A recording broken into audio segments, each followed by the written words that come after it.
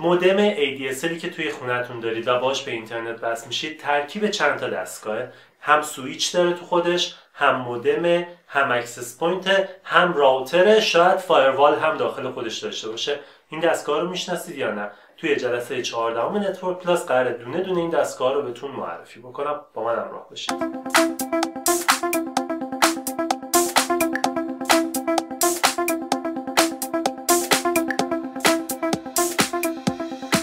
سلام من اردشیر کابینی هستم. اینجا چهارراه کامپیوتره و امروز جلسه چهاردهم دوره Network Plus رو داریم.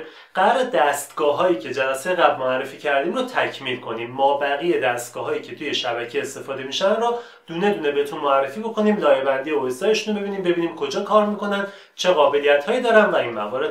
با router شروع می‌کنیم بعد میریم سراغ firewall بعد میریم سراغ IPS و IDS access point چیه و این موارد. دونه دونه اونا رو با هم می‌خونیم. wireless range extender رو می‌خوایم ببینیم چیه. و این موارد. می‌خوایم اینا رو با هم دیگه ببینیم. مثل جلسه قبل من همچنان کمرم درد می‌کنه. جلسه رو براتون ضبط کردم و می‌خوایم بریم ببینیم. سعی می‌کنم وسطاش یه جایی هم بیام یه سری نکات رو براتون بگم. قبل از اینکه بریم شروع بکنیم خوشحالم می‌کنید. اگه دکمه subscribe بزنید زنگوله بغلش هم بزنید. من سه شنبه به سه شنبه جلسه جدیدی از Network Plus رو آپلود می‌کنم. توی طول هفته‌م حداقل سه تا چهار تا ویدیو دیگه آپلود می‌کنم. پس خیلی خوشحال میشم. اگه شما هم دنبال کننده باشید تا این ویدیوها رو از دست ندید. اون زنگوله رو بزنید هر زمان ویدیو جدیدی منتشر شه بهتون اطلاع داده میشه می‌تونید تشریف بیارید و کانال رو ببینید. هر سوالی در رابطه با هر کدوم از جلسات Network Plus دارید توی همون ویدیو کامنت بذارید. حتما جواب میدم و در رابطه با بقیه ویدیو هم خوشحالم می‌کنید. اگه سوالی دارید یا انتقادی پیشنهادی هر چیزی هست برام بنویسید. مرسی از همراهیتون. بریم با هم دیگه شروع کنیم. خب ما جلسه قبل در رابطه با hub، bridge، switch صحبت کردیم. و امروز می‌خوایم بریم سراغ یکی از device های بسیار بسیار مهم توی شبکه به اسم router. با router شروع بکنیم و بقیه device های مهممون رو بررسی بکنیم. چرا router مهمه؟ به خاطر اینکه router دست اصلی ما برای ارتباط با یک شبکه خارجیه. وقتی ما یه شبکه داخلی داریم مثلا 10 تا کامپیوتر کنار همدیگه داریم می‌تونیم این 10 تا کامپیوتر رو به سویچ وصل کنیم و هیچ مشکلی وجود نداره. ولی به محض اینکه این 10 تا کامپیوتر خواستن به اینترنت وصل یا به یک شبکه دیگر وصل بشن نیاز داریم یه دستگاهی این وسط باشه که تشخیص بده آقا بسته باید از این ور بره اون ور یا نه؟ یه چیزی شبیه بریج یادتونه گفتیم بریج چی کار می‌کرد؟ میمد دو تا شبکه مجزا درست می‌کرد. بریج رو ببینیم. یادتونه اینجا توضیح دادم بهتون. گفتم آقا بریج که می‌ذاریم اینجا داره دو تا کالیژن دومین درست می‌کنه. درسته؟ حالا شاید این دسته دیگه من اینترنت باشه یه دونه شبکه نیست ان تا شبکه است. اون وقت دیگه بریج کار نمی‌کنه اینجا. اون وقت باید راوتر بیاد.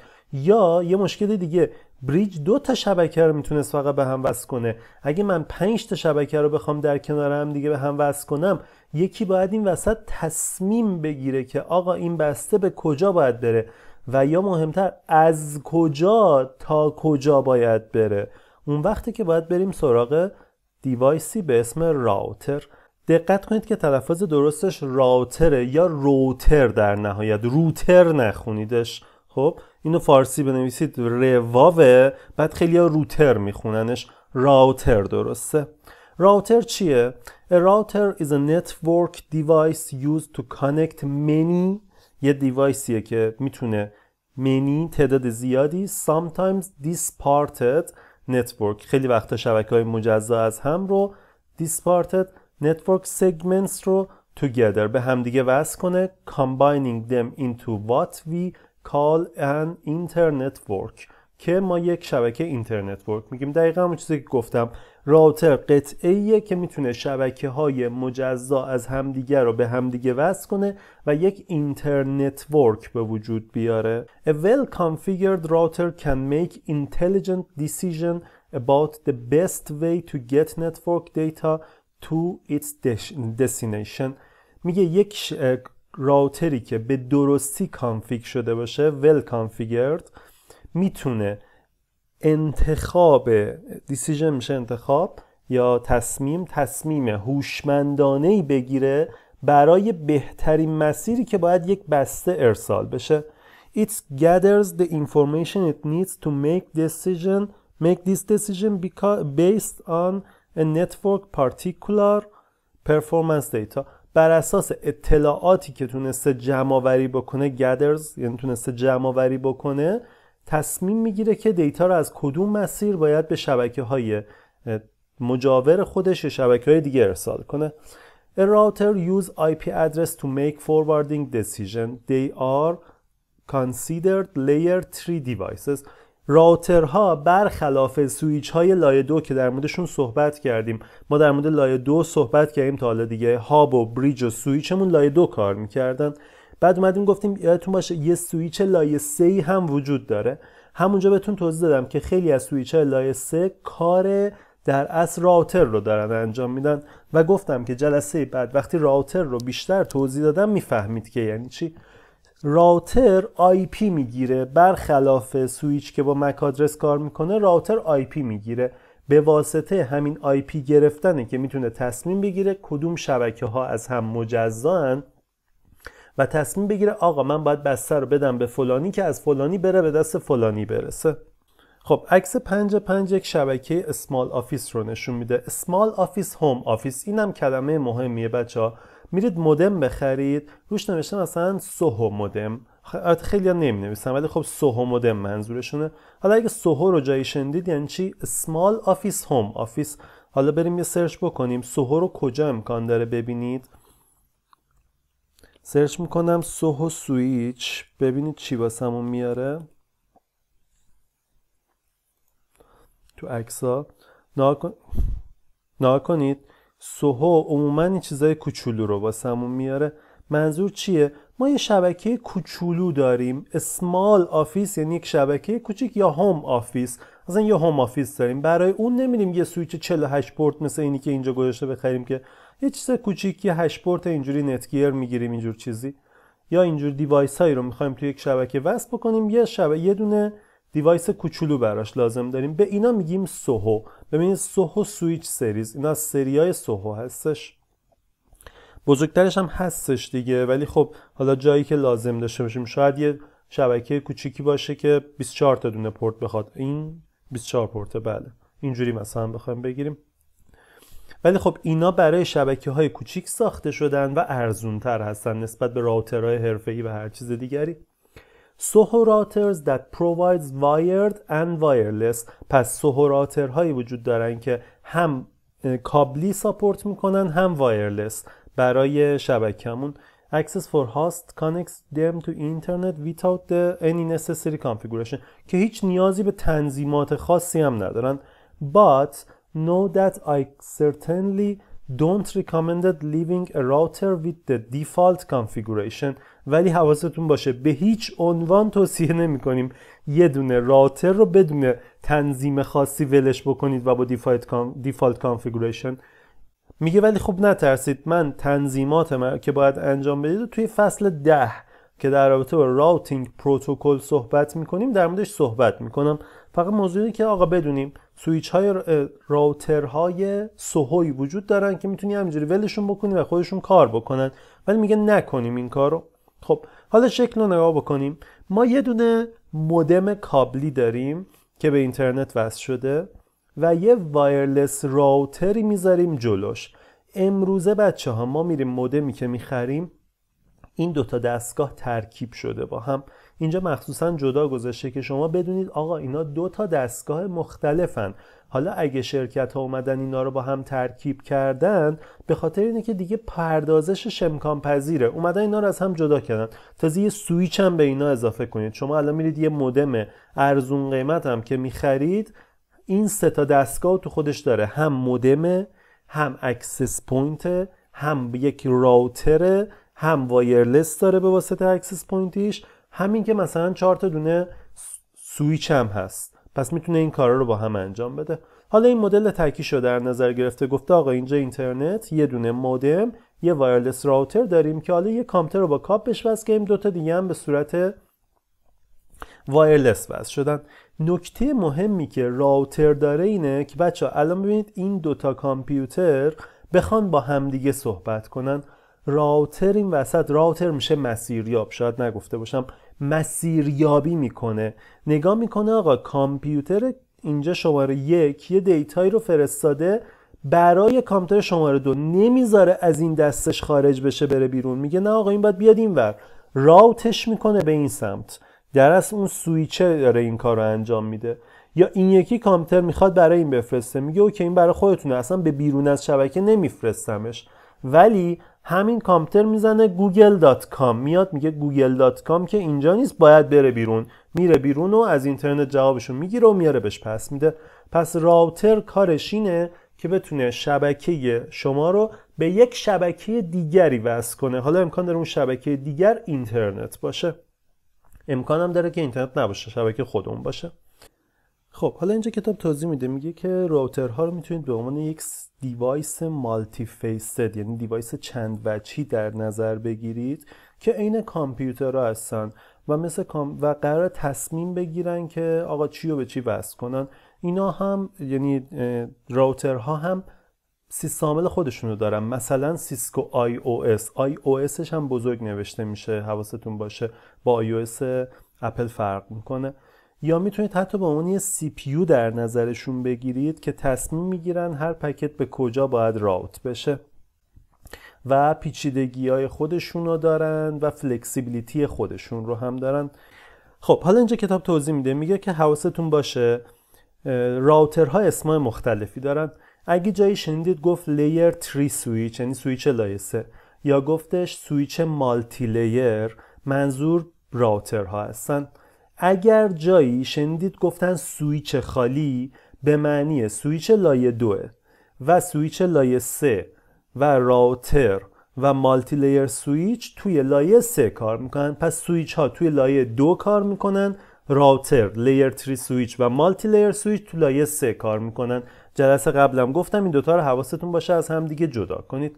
خب پس اگه بخوایم یه جمعبندی بکنیم هر وقت گفتیم سویچ منظور سویچ لایه دوه هر وقت گفتیم سویچ لایه سه گفتیم router یا گفتیم multilayer switch منظور router هایی هستن که توی لایه سه کار می‌کنن یا سویچی هستن که توی لایه سه کار می‌کنن و IP سرشون میشه. دیگه اونقدر احمق نیستن که فقط MAC address بفهمن. IP سرشون میشه می‌تونن مسیریابی بکنن و می‌تونن بر اساس IP برن به اون مسیری که می‌خوان برسن و بسته رو به اون مسیر بفرستن. نکته خیلی مهمیه. میری توی شرکتی می‌بینی که سویچ داره. آها شاید بگن switch manageable. اگه switch manageable هم شنید توی ایران منظور همینه. سویچیه که لایه سه کار می‌کنه. اینم خیلی مهمه. خب حالا بریم سراغ تنظیم بسیار مهمی که ما باید روی همه router ها انجام بدیم. چیزی که سویچ ها از اون فارغ هستن و نیازی به اون ندارن اونم چیه؟ interface configuration بذارید یه اعترافی بکنم. از این قسمت interface configuration به مدت دو صفحه یعنی به طول دو سه صفحه رو من کامل الان ضبط کردم. تک به تک خط ها رو خوندم توضیح دادم که چیه و کجاست و اینا. ولی بعدش به این نتیجه رسیدم که خیلی حوصله سربر شد این تیکه و شاید خیلی ها نخوان اون رو بشنون و واسه همین فیلم و الکی داریم طولانی می‌کنیم. واسه همین من کلش رو می‌برم میریزم دور و الان می‌خوام خیلی خلاصه بهتون بگم. اینجا میاد در رابطه با config کردن interface های یه دونه سویچ و router به شما توضیح میده. میگه که آقا اگه شما یه سویچ دارید حالا سویچتون لایه دو باشه یا لایه سه باشه چیکار باید بکنید؟ اگه سویچ لایه دو دارید که خود به خود وصله هیچ مشکل نداره. اگه سویچ لایه سه رو اغلب سویچ های لایه سه سویچ ها قابلیت تشخیص دارن. نگاه کنید اینجا میگه آقا They are very good to auto detecting speed, duplex and سویچ های جدیدتر هم می‌تونن حتی cross و straight-through رو هم تشخیص بدن. یادتونه در رابطه با auto negotiate توی کارت های شبکه صحبت کردیم یه کابل 100 و هزار رو وصل کردیم و اینجور چیزا واسه‌تون توضیح دادم. میگه آقا سویچ ها می‌تونن این کار رو خودشون بکنن و نیازی نیست این کار رو ما واسهشون تنظیم بکنیم. ولی router ها اینجوری نیستن. تو router ها باید تک تک چیزا رو تنظیم کنی. تو router دقیقا باید بگی که آقا می‌خوام این پورت router duplex کار بکنه. با این سرعت کار بکنه تا مشکلی واست پیش نیاد و امکان داره مشکل پیش بیاد. سویچ لایه 3 هم همینه. تو سویچ لایه 3 هم امکان داره به مشکل بخوری و لازم باشه تنظیمات رو عوض کنی. بعد اخطار داده میگه آقا سویچ لایه 3 رو می‌تونی ولش کنی شاید درست کار بکنه ولی اصلا درست نیست که ما تنظیمات سویچ های لایه 3 رو همینجوری ول کنیم رو هوا. نکته مهم اینه که ما می‌تونیم تک تک پورت های سویچ لایه 3 رو config بکنیم. نگاه کنید می‌تونی بگی این پورت می‌خوام shutdown باشه. این یکی می‌خوام با سرعت 100 کار کنه اون یکی می‌خوام با سرعت 1000 کار کنه. این کاملا قابل تنظیمه. بعد در رابطه با تنظیمات هاف داپلکس گفته که آقا مثلا داپلکسش رو بذاریم فول باشه هاف باشه یا اتو باشه. در رابطه با تنظیمات سرعت گفته. چیزایی که واقعا اگه بخوام از روش بخونم دیگه حوصلتون رو سر می‌بره. اینجا مهمه. ببینید unlike switches برخلاف سویچ ها router interface do not just work when you plug them into the network. برخلاف سویچ ها که توضیح دادیم خودشون تنظیمات پیشفرضی دارن و کار می‌کنن میگه router ها اینجوری نیستن و router ها رو باید تک به تک config بکنیم تا معلوم بشه که اون router قراره دقیقا چه کاری انجام بده. All ports are shut down by default. همه پورت ها به صورت پیشفرض shutdown هستن. یه مثال ساده بزنم. آقا شما یه دونه مودم خریدید که این مودمتون چهار تا پورت LAN داره wireless داره و باید به اینترنت هم وصل بشه درسته؟ اصلا اینترنت و wireless ش رو بیخیال شما دو تا کامپیوتر رو با کابل وصل کنید به اون سویچ به اون مودمه. اگه روی اون دوتا کامپیوترتون IP تون رو دستی config کرده باشید اونا همدیگه رو می‌بینن. یعنی قسمت سویچش داره کار می‌کنه. فارغ از اینکه router ش کار می‌کنه یا نمی‌کنه. رو router ها اینجوری نیست دقیقا. تو router ما باید تک به تک config بکنیم که آقا این پورت من می‌خوام اینجوری به اینجا وصل باشه. این پورت IP ش این باشه به فلان جا وصل باشه. تو سویچ ها اینجوری نیستن تو router ها دقیقا اینجوری هن و باید این تنظیمات رو انجام بدیم. بعد در رابطه تنظیمات router ها میگه که آقا router ها رو باید اینجوری config بکنیم و IP بگیره و IP رو یا دستی بذاریم یا بره از route بره از DHCP مون بگیره که هنوز نگفتیم DHCP چیه جلوتر می‌خوایم اشاره بکنیم و این موارد. واقعا دیدم حوصله سربره و گفتم که دیگه نمی‌خونم این تیکه رو. اگه خواستید خودتون می‌تونید بخونید. خیلی نثر روونی داره. و می‌تونید متوجه بشید. خب بریم سراغ device بعدی. device بعدی firewall ه داستان اینکه firewall از کجا اومده و این لغت از کجا اومده برمیگرده به خیلی قدیم که میگن یه جزیره ای بوده که می‌خواسته جلوی مهاجم ها رو بگیره.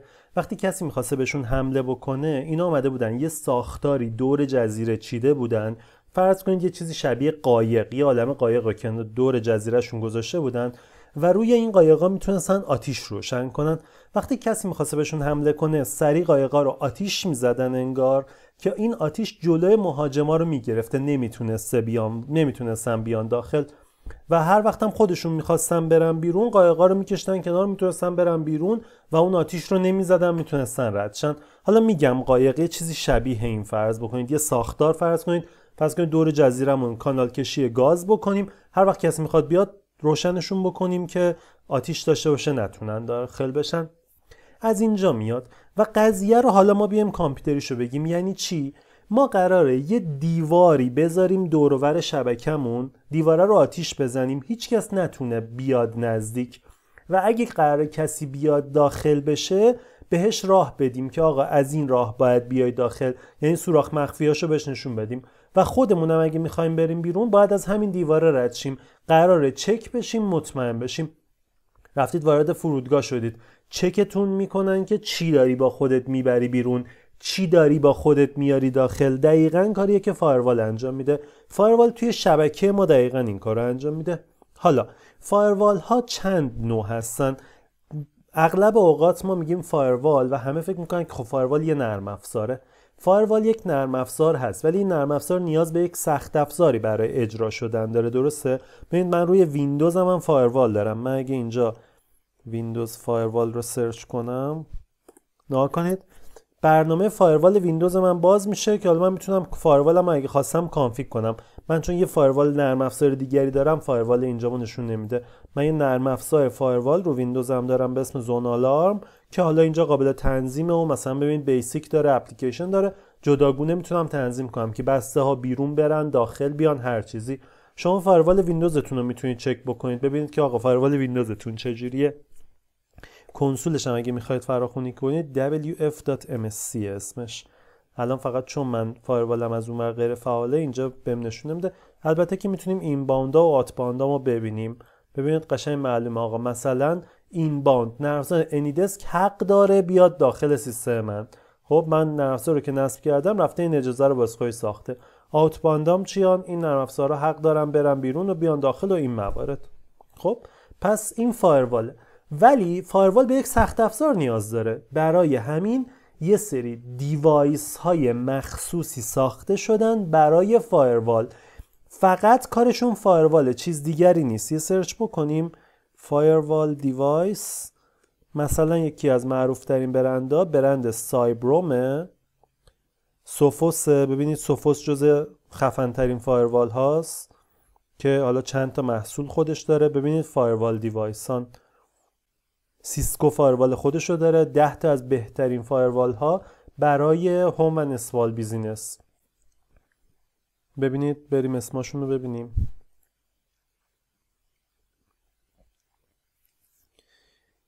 Ubiquiti ه فکر کنم اسمش نمی‌دونم اسمش دقیقا چیه.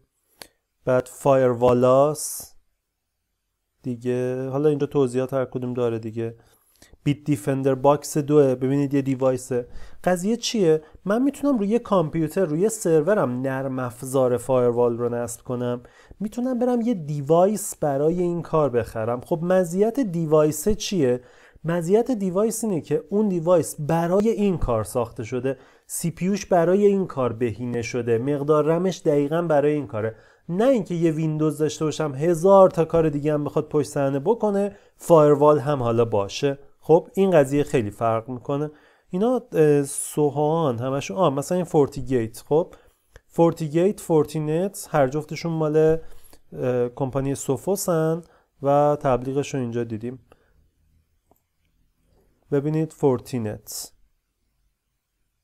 دیگه Zyxel مثلا مدل داره. حالا فایروال امکان داره اینجوری باشن خیلی ساده اغلب پشتشونن پورتاشون.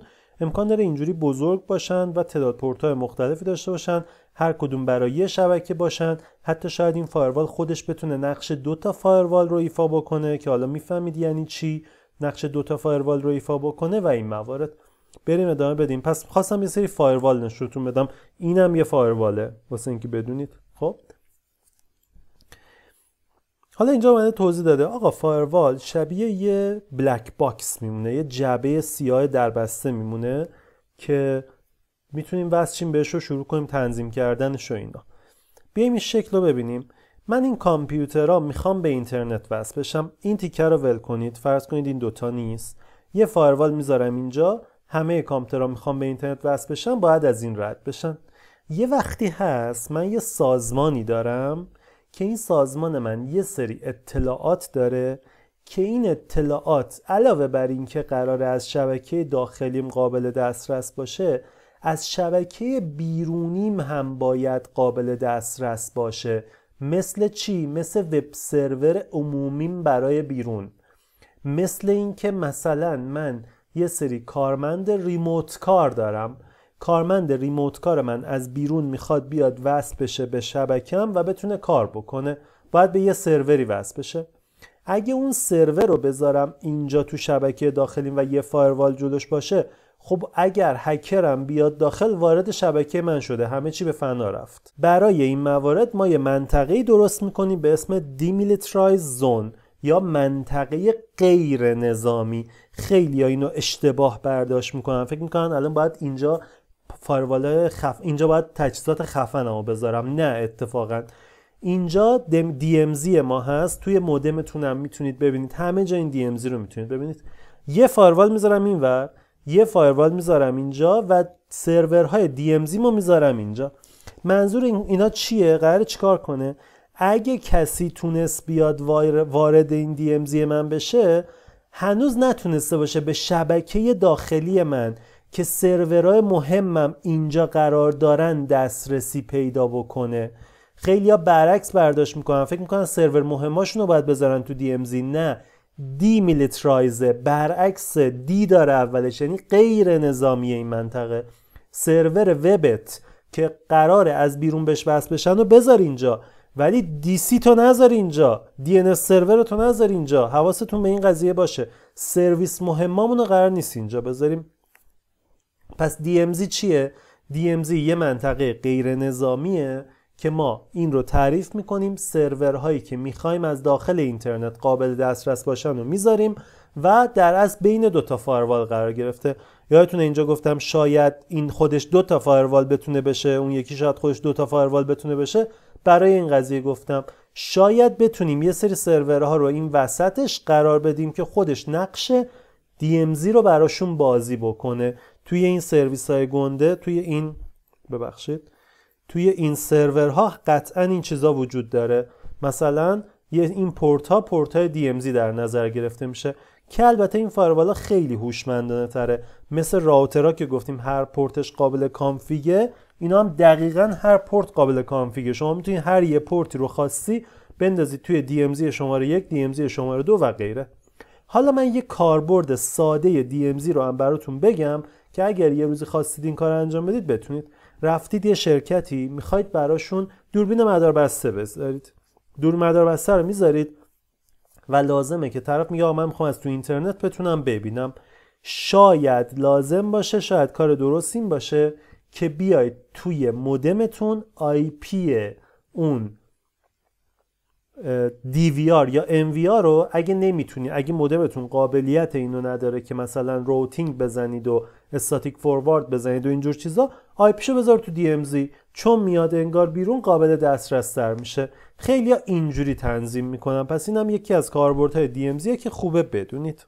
در مورد فایروال نکته ای که گفتم در رابطه با DMZ حواستون باشه. اگه لغت back to back firewall هم شنیدید منظور همینه. یه فایروال می‌ذاریم اینجا یه فایروال می‌ذاریم اینجا و این منطقه وسط رو بهش میگیم DMZ یا Demilitarized zone خب این محیط رو درست می‌کنیم به خاطر اینکه سرورهامون رو بذاریم اینجا. سرورهایی که برامون مهم نیست. مهمه ها نه اینکه اصلا مهم نباشه. اگه مهم نبود که مینداختیمشون بیرون اصلا. مهمه.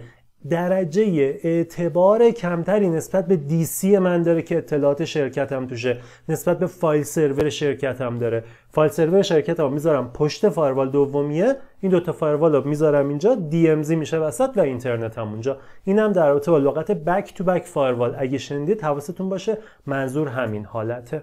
مورد بعدی IDS و IPS کتاب خیلی محدود در موردشون صحبت کرده. منم در حد معرفی فقط این کار انجام میدم.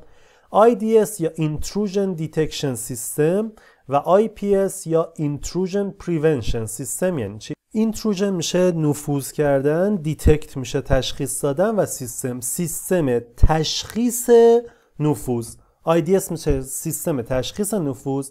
IPS میشه Intrusion Prevention سیستم جلوگیری از نفوذ.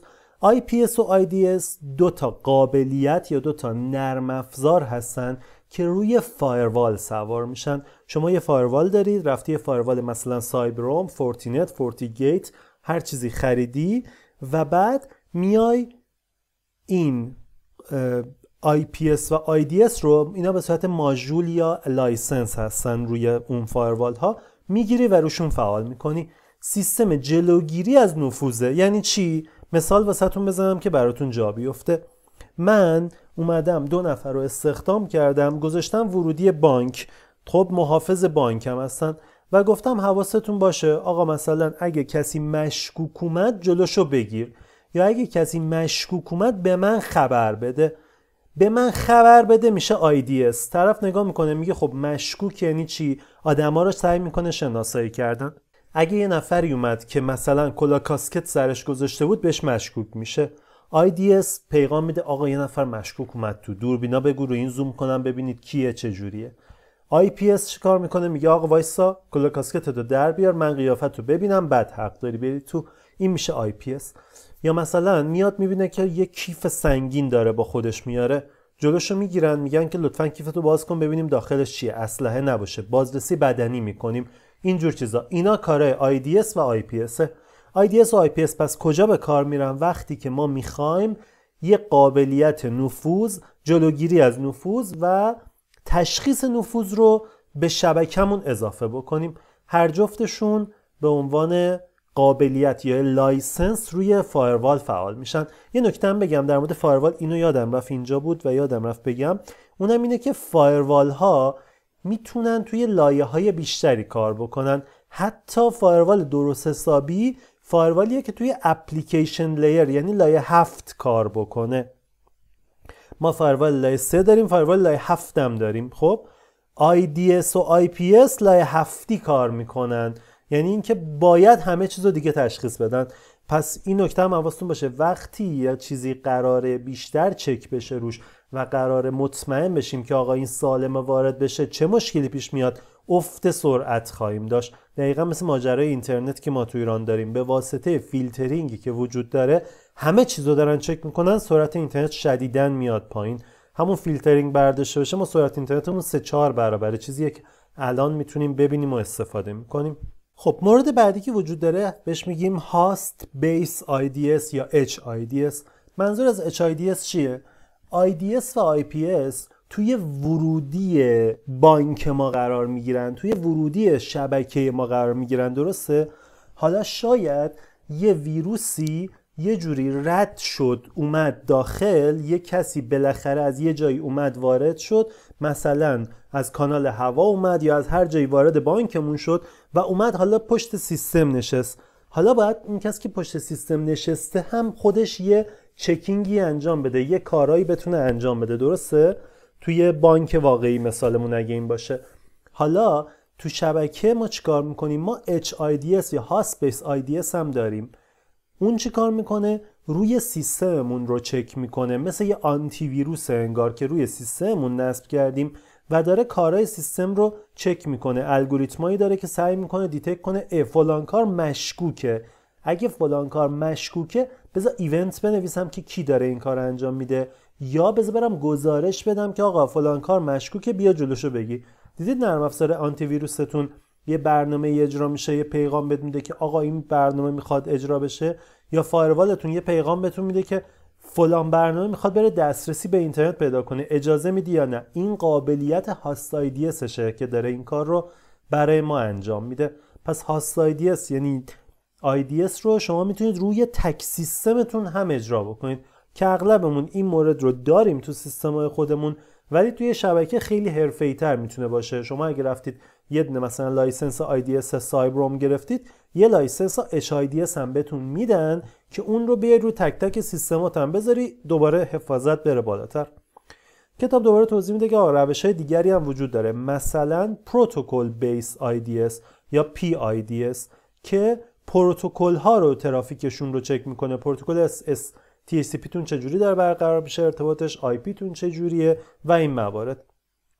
یا یه مورد دیگه application protocol based. خب IDS میشه APIDS که مانیتور می‌کنه ترافیک group سرورها رو که روی اون اپلیکیشن اجرا شدن. مثلا چی؟ شما وقتی اینو اجرا بکنید مثلا توی شبکه هستید که 50 نفر دارن با یه نرم خاص کار می‌کنن.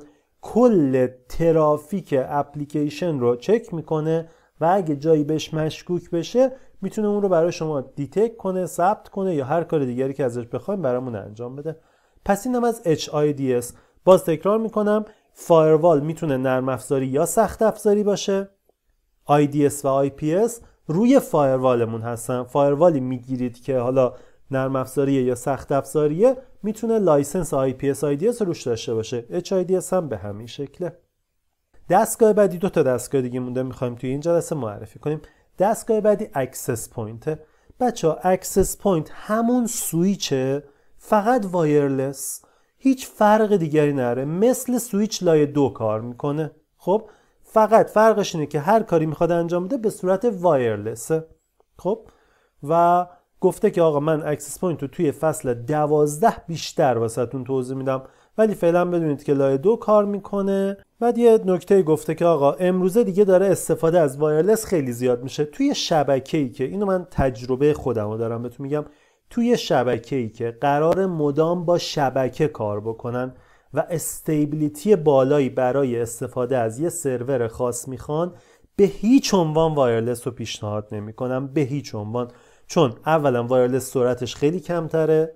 ما وایرلس الان 6 داریم وای فای 6 داریم که سرعت 3000 مگ بهتون میده. من قبلا یه مودم 6 وای فای 6 رو unbox کردم و توضیحاتشو دادم. یه ویدیو کامل 45 دقیقه است. ویدیوش این بالا واسهتون می‌ذارم. ولی بازم به هیچ عنوان پیشنهاد نمی‌کنم. یه نفر وسط مودمتون وسط access point تون و کامپیوترتون را بره سرعتتون بالا پایین امکان داره بشه. و این اصلا برای کار شبکه خوب نیست. اینترنت قضیهش فرق می‌کنه. اینترنت نه okay okay به خاطر اینکه شما می‌خوای به اینترنتی وصل بشی که کلا قرار 100 مگ به سرعت بده دیگه در نهایت. اونم جواب میده و هیچ مشکلی ندارید. و خب ما تو خونه هامون هممون داریم از access point استفاده می‌کنیم. امروزه وقتی شما میرید یه مودم می‌خرید در اصل یه دونه مودم خریدید یه access point بهشه یه router داره و یه سویچ هم داخل خودش داره.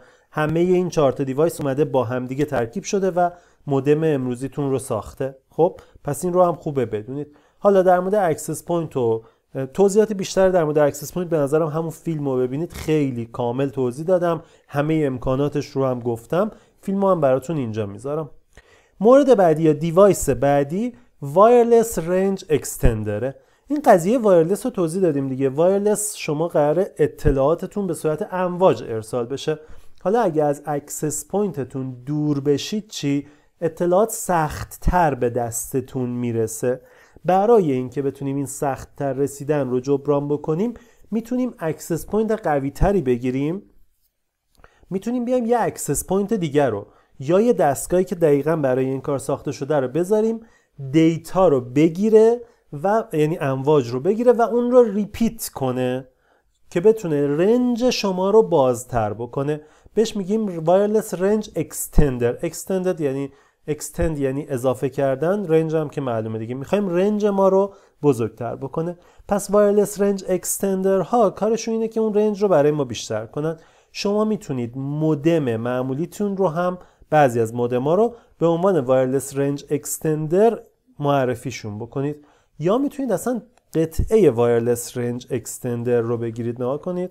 ما یه سری قطعه داریم برای این کار ساخته شدن. اینا وایرلس رنج اکستندر هستن در از بعضیاشون. مثل این می‌خورن به برق فقط خیلی ساده می‌گیرن و منتشر می‌کنن. بعضیاشون هم حرفه‌ای تر آنتن دارن و این موارد. عموما همینجوری هن. یه چیز ساده است به برق می‌خوره و هیچ تنظیم خاصی هیچ چیزی هم نداره. چرا؟ تنظیمش در این حده که بهش وصل میشید از این بغل یا به صورت وای فای بهش وصل میشید. یه صفحه مثل مودمتون میاره میگه access point ت کدومه. access point رو بهش میدی بعدم بهش میگی که چیش چنده. پسوردش چیه؟ هر چی گرفت از این بعد extend می‌کنه. فقط حواستون باشه کجا باید قرارش بدید. اگه مثلا نقشه خونتون جوریه که یه خونه 100 متری دارید مودم و یه گوشه خونه گذاشتید وایرلس رنج اکستندر رو باید جایی به برق بزنید که هنوز کیفیت سر... کیفیت اینترنت که داره می‌گیره یعنی امواجی که داره می‌گیره خیلی خوبه. مثلا وسط خونتون باید بزنید که اون ته خونه رو هم اون ته خونه رو هم ساپورت بکنه. اگه ساختمونی دارید که چند طبقه است wireless range extender ها خیلی گزینه خوبی هستن. ولی حواستون باشه بازم wireless داره دریافت می‌کنه و قرار اون رو repeat کنه. من اگه تو چند طبقه بخوام شبکه ببندم که wireless کار بکنه ترجیحم اینه که دو تا access point بگیرم. access point هامو با کابل به هم وصل کنم. حالا هر کدومشون جداگونه اینترنت رو پخش بکنن. ولی اینم گزینه خوبیه می‌تونید از اینا استفاده کنید. حتی این شکلی هم داریم. وایرلس رنج اکستندری داریم. ببینید به این بزرگی و خفنی. می‌تونید از این مدل ها بگیرید استفاده بکنید. خب این نقشش خیلی خوبه اتفاقا. ببینید مودم اینجاست. وایرلس رنج اکستندر رو بغل مودم نزده تو برق. اینجا زده. یا مودم اینجاست؟ ببخشید مودم اینجاست. اینو توی حال زده که این یکی رو بتونن استفاده بکنن. نقشه دیگه ببینیم چیزی نشونمون میده. یه کامپیوتری داریم. خب اینم خوبه. یه مودم داریم. یه وایرلس روتر کشیدیم گذاشتیم اینجا. کامپیوتر من وای فایش تا اینجا رو می‌بینه. روترم هم تا اینجا رو می‌بینه. نمی‌بینن همدیگه رو. یه وایرلس رنج اکستندر رو وسط رنج این دوتا قرار میدم که بتونه از این بگیره و به این یکی انتقال بده. این کل کاری است که باید شما انجام بدید. پس اینم از wireless range extender خیلی هم گرون نیستن تو ایران هم گیر میان. حواستون باشه ما قبلا هم مدل های دیگه رو معرفی کردیم. power over Ethernet رو معرفی کردیم. این با اون فرق می‌کنه این قرار wireless رو بگیره و اون رو گسترشش بده. اینجا یه خط مهم نوشته. These devices should be placed so there is at least 15% overlap of the coverage area of the AP and the extender. باید جایی قرار بدی که حداقل 15 درصد اوورلپ داشته باشن با هم دیگه. منظور از اوورلپ چیه؟ این. نا کنید این اون 15 درصد است. حداقل باید 15 درصد اوورلپ داشته باشه جایی که قرار میدی. نه یا لب به لب هم دیگه بذاری. باید انقدر نزدیک باشه که محدودشون اوورلپ با هم دیگه داشته باشن. و اینکه می‌دونید دیگه ما این محدوده رو نمی‌بینیم. فقط باید اینو تصور کنیم. ببینیم تا کجا جواب میده. با دستگاهی که داریم بریم اونجا قرار بدیم. دستگاهی واسه این کار هست ولی خیلی گرونه. خب همونجور که دیدید تموم شد. ما توی این جلسه راوتر رو بررسی کردیم فایروال رو بررسی کردیم با لغت DMZ آشنا شدیم. HIDS رو شناختیم IDS و IPS رو شناختیم Access Point رو شناختیم و وایرلس رنج اکستندر رو هم باش آشنا شدیم. توی ادامه کتاب CSMA CA و CSMA CD رو بررسی کرده که ما قبلا درسش رو دادیم و دیگه نیازی نیست دوباره درس بدم. لینکش رو واسهتون اینجا می‌ذارم. و بعدش میره سراغ DHCP که حالا میریم سراغ جلسه بعدی. توی جلسه 15 هم می‌خوایم DHCP رو معرفی کنیم. من شاید یه DHCP بیارم بهتون نشون بدم. حالا شاید DHCP ویندوزی شاید هم DHCP مودم رو بیارم نشونتون بدم که چه جوری باید این کار رو انجام بدیم. شاید الان config ش کردیم چون می‌خوام یه ذره کلاس عملی باشه. یه مودم رو میارم DHCP رو براتون config می‌کنم و حالا توضیحات میدیم که چه جوری باید این کار انجام بدیم. جلسه 15 همه دوره Network Plus هم تموم شد. امیدوارم از این جلسه لذت برده باشید. like و کامنت و subscribe و follow یادتون نره. مرسی از همراهیتون. فعلا خدا نگهدار.